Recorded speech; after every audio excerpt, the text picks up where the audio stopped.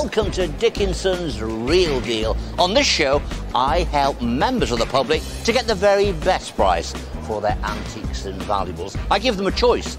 Sit down with one of our regular dealers. They're going to make you a tempting cash offer on the table today. Two two. So, what do you think of my offer of 25? I don't. You don't? If I think that's not enough money, I'm going to advise our seller to come here to an auction, hopefully to gamble and get a little bit more money. Today the show comes to you from Penrith in Cumbria. The sale is being held here at Kendal in the Lake District. Lots of people have come along to the show. They're determined to do business. You know why? They want to walk away with the real deal.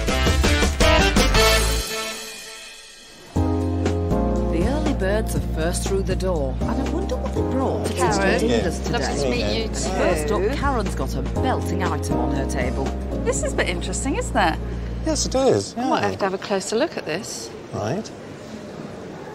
How fantastic. Was it American Express Company, Wells, Butterfield and Co. This isn't something you see every day, is it? No. I've just spotted a name. You're Yeah, going to tell is, me what it yeah. is? Tiffany. Tiffany, yeah, you're not daft, are you? You know no. what's on the back there. So come on then, where's this come from? Well, I actually bought it in a car boot sale about 10 years ago.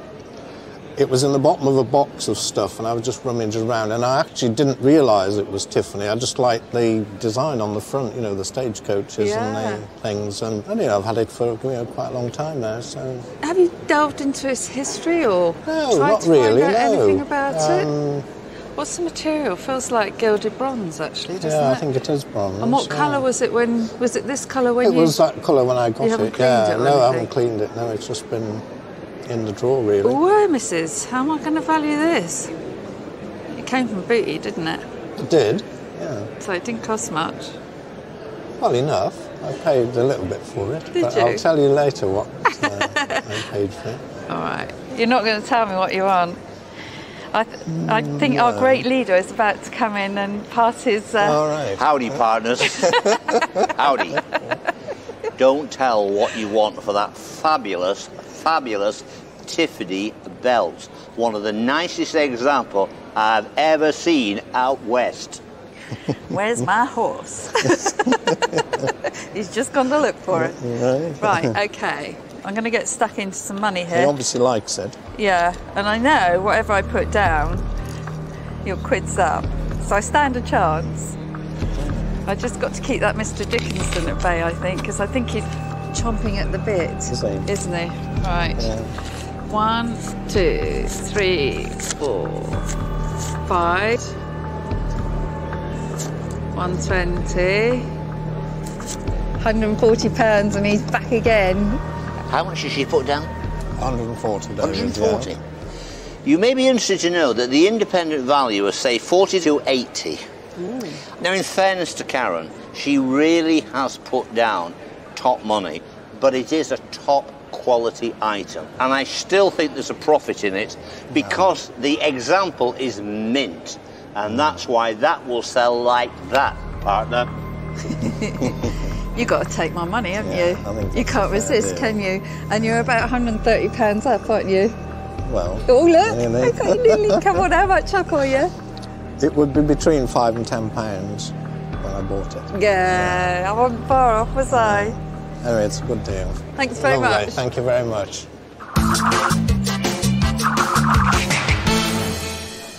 So, with about £130 profit, Ian's homeward bound with a smile. But what does Karen think?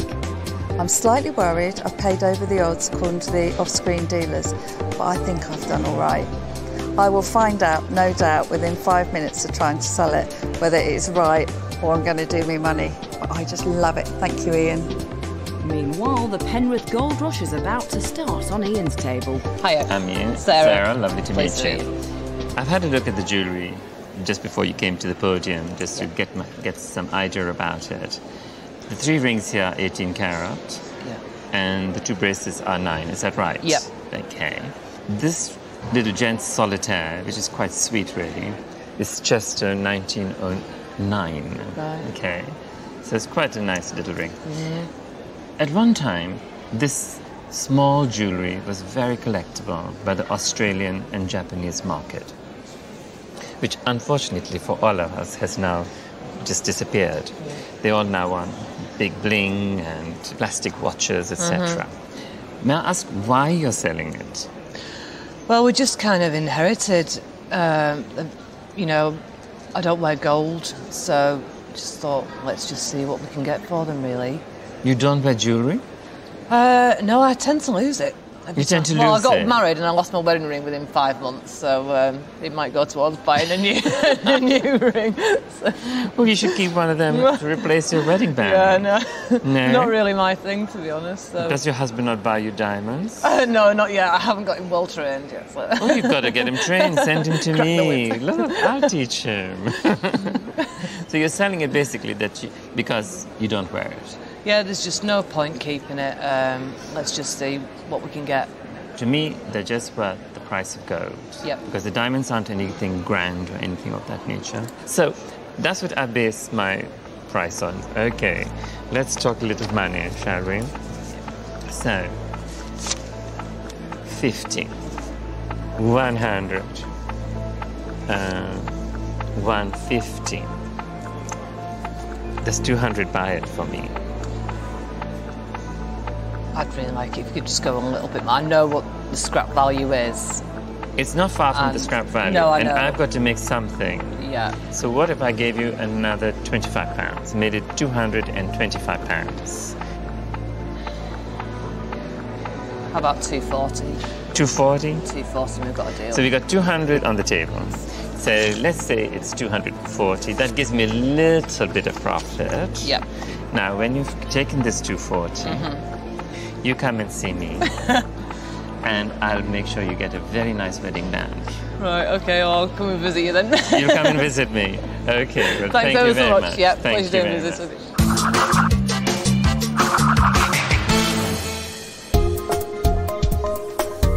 That's two deals and two sales. Now Hello, will Martin be off with Martin. such a good I'm start? Billy. Or will he be left in the dark? Hello, Billy. And what have you brought in here today? Well, these are old wartime things for, for car headlights Right. that I believe they used during the war to keep the light down. They're blackout lights, aren't yeah, they? Yeah, These would have attached to the front of the headlamp that's right. and made driving almost impossible because you can hardly see. You imagine the light coming through there. Terrible. It must have been appalling. and uh, I heard from my father when he was alive, he used to say lots of people were killed during the Second World War blackouts because they couldn't see people walking in front of them. No, they wouldn't. And they put uh, notifications out on the radios to say, wear something white at night because they were getting knocked over. Right. So that's what these are. And this, do you know what that is? It, I think it's a carbine push, like a bicycle like that. It is, yeah, it's like what they call a carbide light, Right. where you'd put powder into the reservoir, top it up with water, and it would burn for a bright light so you could see where you were going. Yeah. So I should imagine that's probably 20s, that sort of date, 30s. Where did you come acquire these things from? Were they used by yourself or your father or something Oh else? no, they weren't used by me. No? No, no. Um, they've come down the line, and they've ended up in my garage for at least 30 years. Right. And, and it's just a shame that they should be lying in the garage So when somebody somebody will have a car that would be nice to put with his car, cleaned up and sprayed up. Exactly. Yeah. I mean, they do like these things to be in a bit of an original condition. Yeah. Without Oh, the rust, which I say, um, we do have a little bit of rust on these. They are. But they, sh- they, I should imagine they'd be cleaned up and polished up. Oh yeah. Uh, and they're interesting objects. Well, I'll put some money on the table and see if we get close to what your expectations are. Yeah.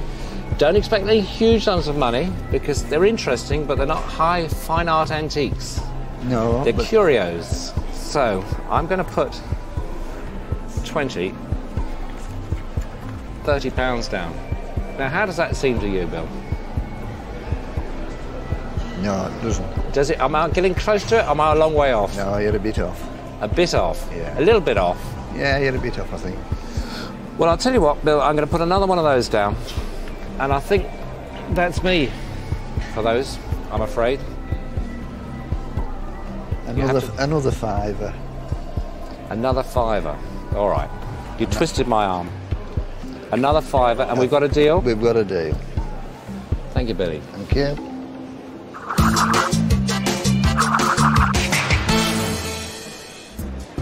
Also coming up, £50. Joe's being a bad influence. We could just spend it and have a good time. Well, I could. But can she walk away with the deal? You're going to crack a face or not? Oh, well, I've got a Little smile.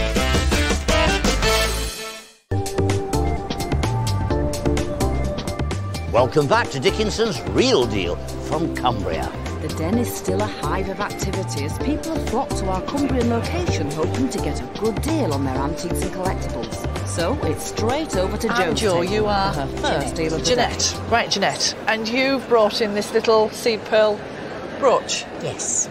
Why?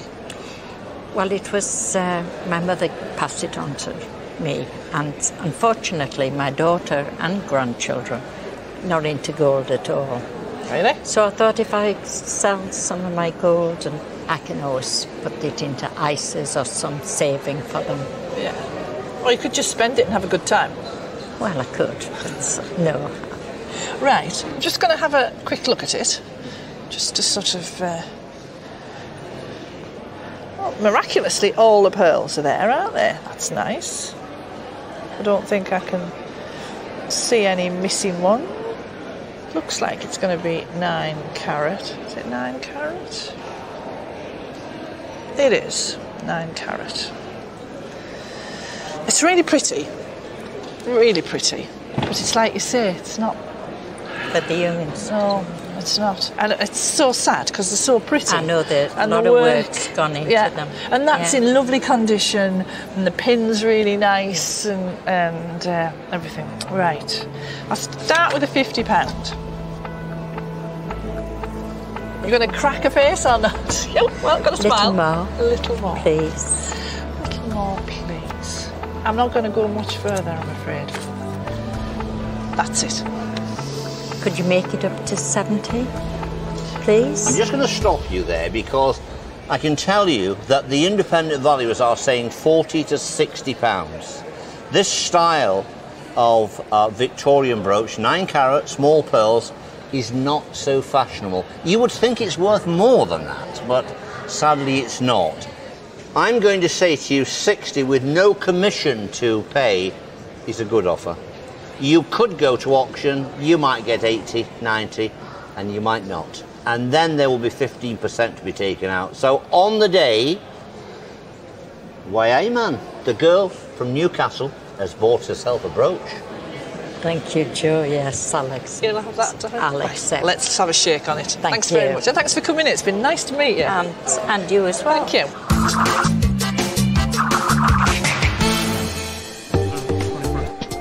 Now, with so much gold turning up in the dealer's den, the Duke chats to resident expert Pippa Weddle to hear her take on booming gold prices. Now, what we've got here in the box is a collection of 9 carat, 18 carat, 22 carat jewellery, coins, and so forth. On every Dickinson's real deal, we are seeing more and more gold jewellery. Yeah. I suppose the obvious question here is is this because of the rise, the surge in gold prices? I think so. I think that's exactly what it is, and everybody's very aware of that and are encouraged to scrap their gold. So we do see a lot of it. I've been very busy this morning. What worries me, Pippa, is there are items in there, for instance, we have a coin here. I know this one has been damaged because it has this mount on it. Yeah. But when coins come through the door, half sovereigns, sovereigns, gold pieces, Yeah.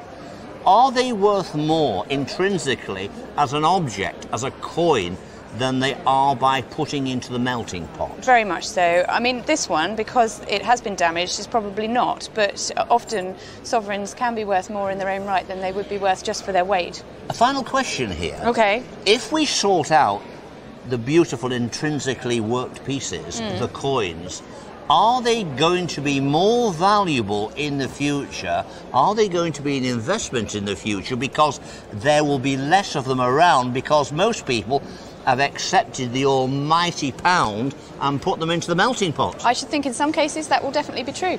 Yes, there will be less of them out there and they will become very much more valuable and desirable in their own right because there won't be so many to go around. And that's our tip for the future. As an investment, keep the better pieces, the coins in good condition to one side, and scrap the lesser and perhaps more modern pieces. That long term could be a good investment.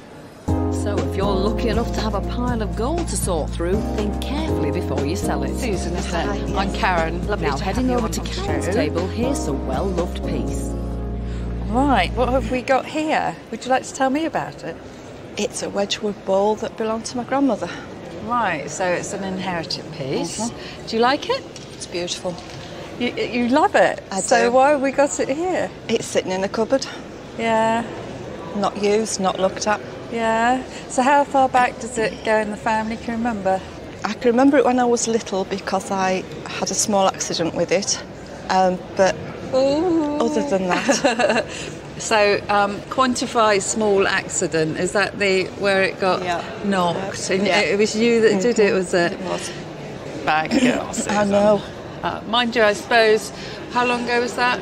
Oh, 50 years or so. 50 years ago. Yeah, perhaps it, you know, it wasn't such a valued item then. So let's just turn it over and look on the back. And we can see that we've got the Wedgwood mark on the back in gilt printed over. And this is this is what they call a luster. Mm-hmm. It's absolutely beautiful, and this particular design is self-explanatory. It's got dragons featured all around the inside of the bowl, and this lovely, almost sort of opal colour on the outside there. There's a lady called Daisy Makeig-Jones who was working for Wedgwood about the same time, about the 20s, who created, I expect you've heard of the Fairyland Luster? yes, I have now, yeah. Yeah, it's just a shame that we haven't got a few nymphs and fairies leaping round because then we'd be talking entirely, Yes, so entirely different market, wouldn't we? Um, right, had it not had the clonk, um, I think we'd have been talking a couple of hundred at least. So I'm going to put a price down, and I, I'm sorry it's not the full amount because I, I would have loved it in perfect condition. I'd have been hopping up and down to be quite honest. Right, 20, 40, 60. Right, there's 80 pounds, and, and that's how I see it. So, ooh, here's Oh, what a shame. Culprit. Very commercial item that is, this Wedgwood Dragon Luster Bowl, but we have this horrendous crack right the way through it. Now, of course, these things can be repaired, but they are costly Yes. to do a proper job. And even when they have been restored, it's down to the dealer really to tell a good customer, look, this has been restored. Mm-hmm. 60 to 80 pounds is where the independent valuers Oh, want to be. spot on. it's on the money, right on the money. Lovely lot, but impaired and damaged. I think that's a fair price. Okay. I can still see a really sad little face sitting opposite me, though. But uh, you know, we'll, we'll, David, what David says and what I've Yeah. offered Oh, is yes. absolutely spot on. Yes. But I don't want you to accept the money and be, No, still be disappointed. um, I think I might give it a go at auction if yeah. I could. Okay. Fingers crossed, and Yes. it, it could do well. Let's hope so. Thank you.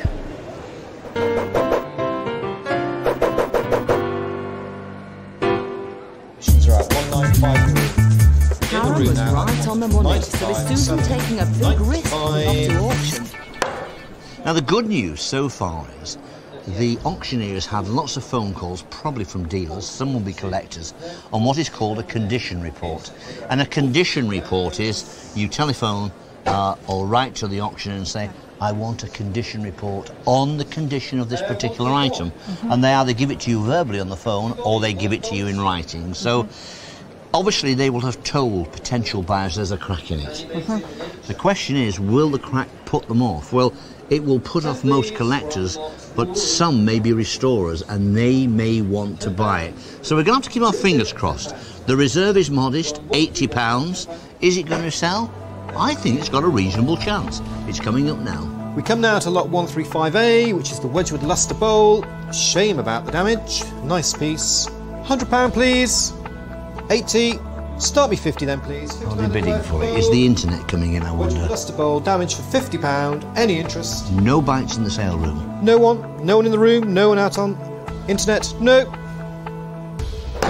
Okay. We'll take it home. Problem we've got here, there was a crack in it. Nobody wants to speculate on it. Are you disappointed? No. Nope. I'll take it home. Take it home. Uh, it is still a good item. It does want restoring, but the restoration job on something like that can be expensive. That may have held it back. Real deal, Karen Dalmany, our dealer. Karen, you were on the money, girl. Annette, that's brilliant. Thank you so much. Coming up. Oh, look out, look out. Oh, David, you've got to be quicker than that. Is Karen trying to sneak a crafty deal? The cash was out like a king cobra striking.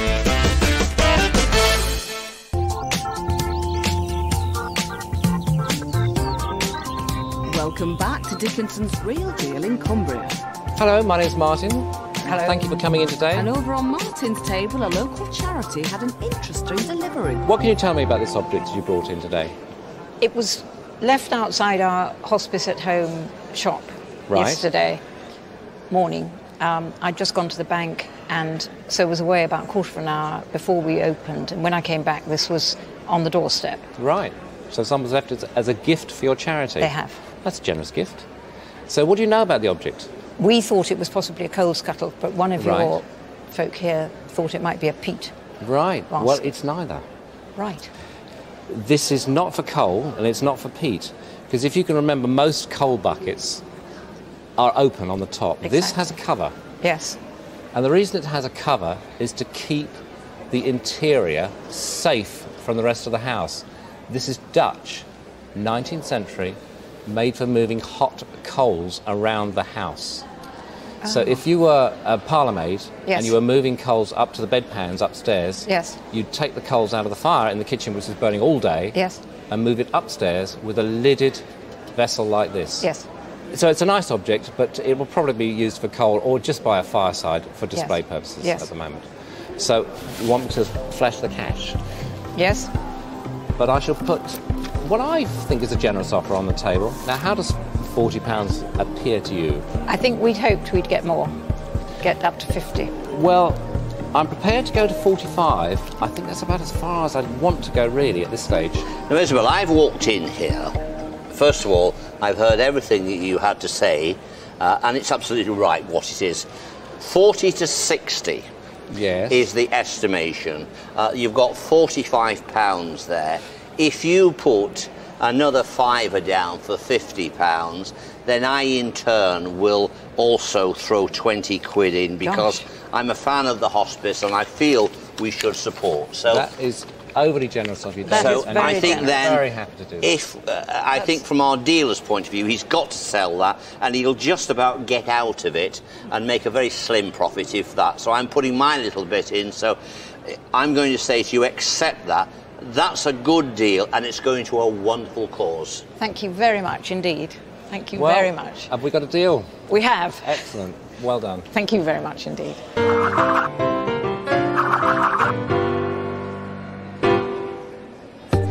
Well, good to see everyone putting their hands in their pockets for a worthy cause. Welcome to the show. Now we head Pleasure over to to. Karen's table where the Duke and auctioneer David Brooks are taking a keen interest in this next item. Right.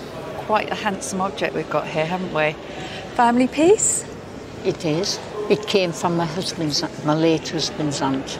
Okay. And uh, I have a daughter and son, but it's not their lovely. style type of thing for what would go in their home. So, yeah. so perhaps get a bit of money in and treat yourself, is that? uh, no, treat them. Treat them. oh, even better. Brilliant. Right, let's get down to the object. So it's gone, come back from your family. But date wise, um, my guess is we're looking about 1860, 1870. If we took the pottery piece away from the Ormolu base, um, it would be marked. Well, it is marked when you lift this off. There's something on there, is there? Inside. Okay. Ah, NB. Okay, so And there probably something on there. refers. Yeah, that'll probably refer to the metal part.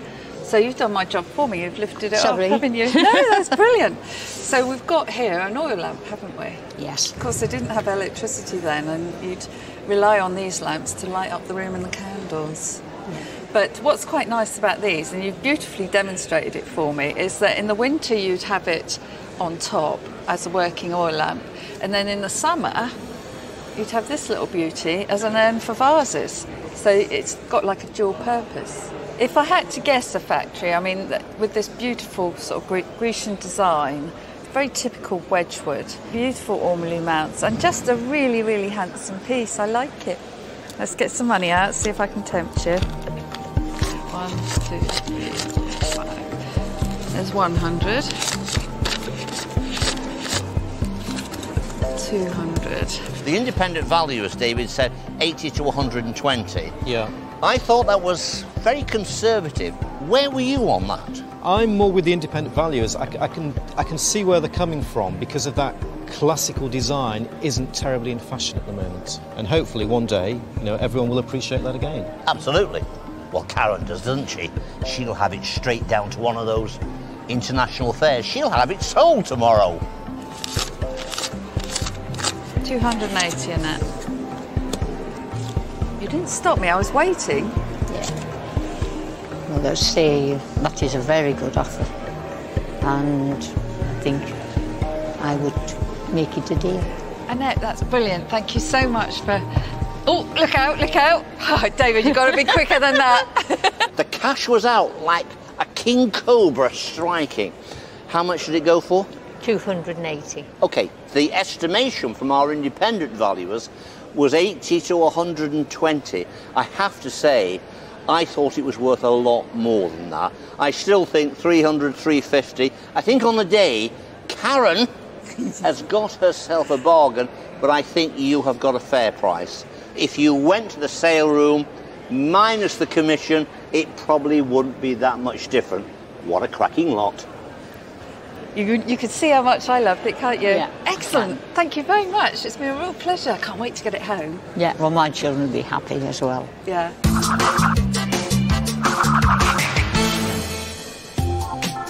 Having paid double the valuation, how does Karen feel?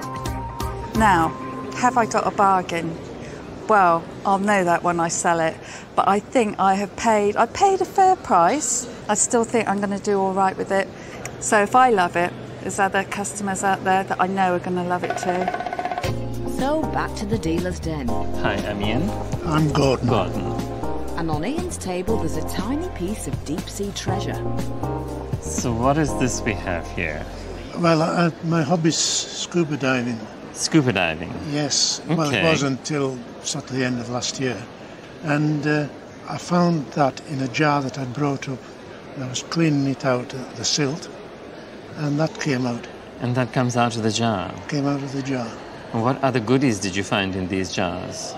Uh, m- mainly stuff that smelled a lot and, I can imagine that, yes. you know, and, uh, Rotting debris. and most of it, yes, it, uh, algae and the silt. And, uh, but nothing, uh, Nothing very exciting. no. Well, this is rather interesting, really. I mean, it has got a line indicating that it is silver, and it's quite a weighty little gun.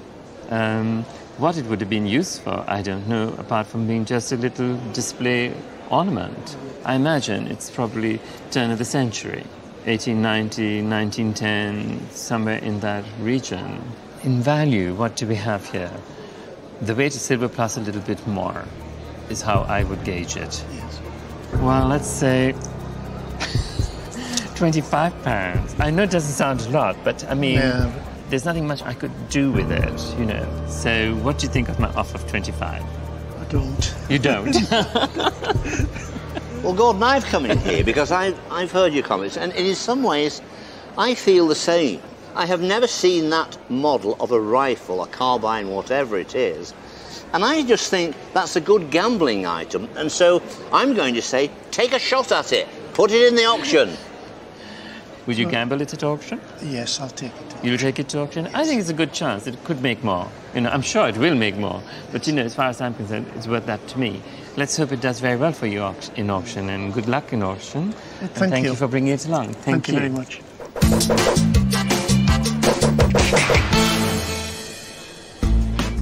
Coming up, Five, eight, find out if bid cards go shooting off after the break. Well, that went off with a bang, didn't it? What a nice surprise.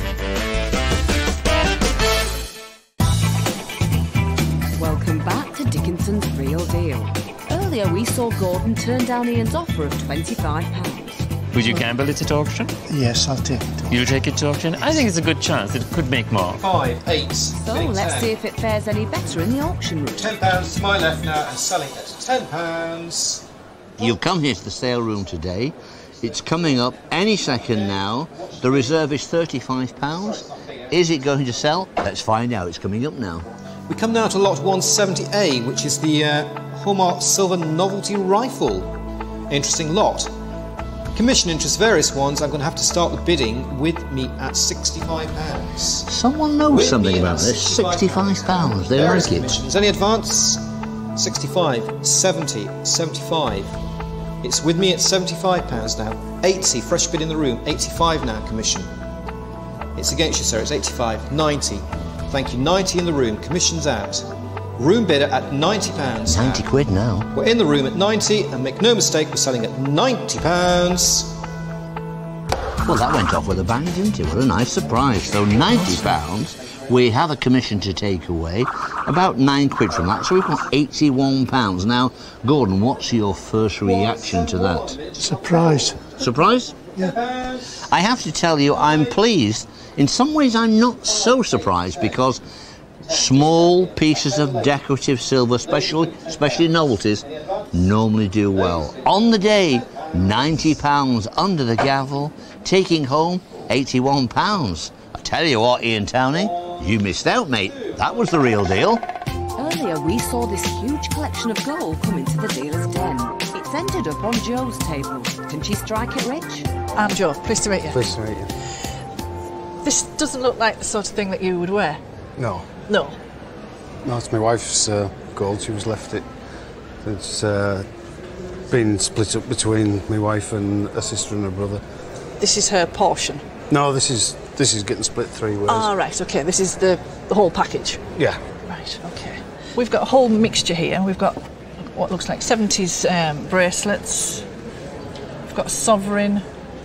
And then we've got this little gold watch, which obviously, when I take that into calculation, I have to allow a little bit off for the um, for the movement, Right. because obviously that's not going to be gold. And likewise with the stones in the earrings there, and it's all basically nine carat, isn't it? Yeah. Right. Sad to say, you know what I'm going to say, don't you? Scrap value. Scrap value. Yeah. Scrap value. The old scales have been out. Took me a while. Had to wind up the brain cells and get the calculator out and come to some calculations.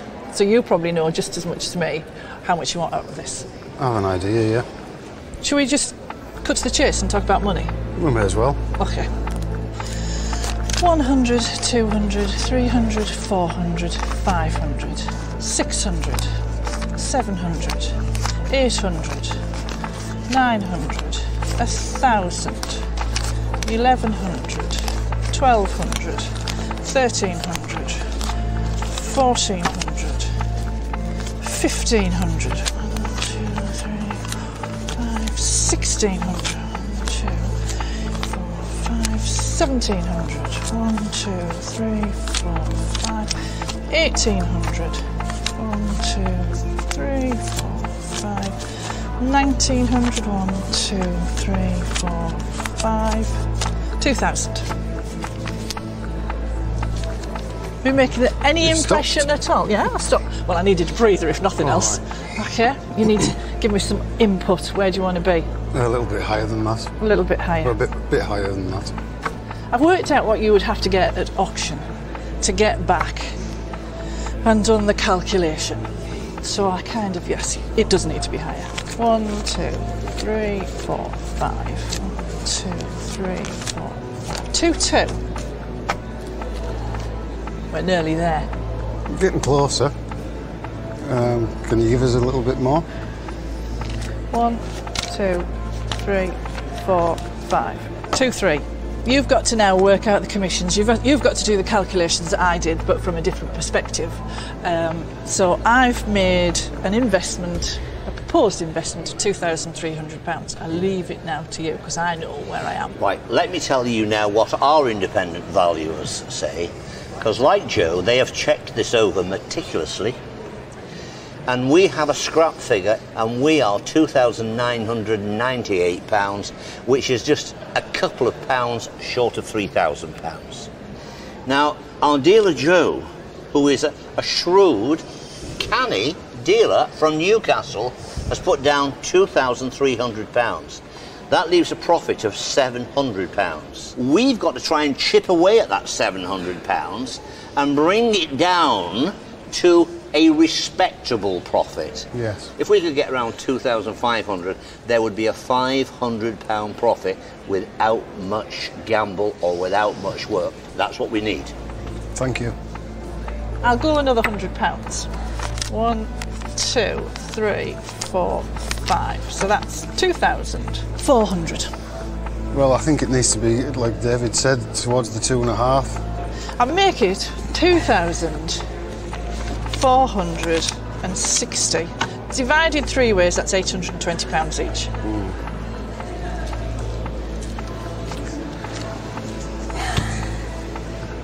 Put another forty pounds on and, and the gold. It doesn't yours. divide though nicely between the three of them. Oh, does I've got a calculator. It does it all for me. I'm not going to lose it for 40 quid. So we've got £2,500 and you're going to shake my hand. Deal. Thank you very much. Yes, David, I put the money on Did the you- table. did she? I did, I did. Good on you, girl. they may be a bit tough from Newcastle, but they're good girls up there. Good price, good deal.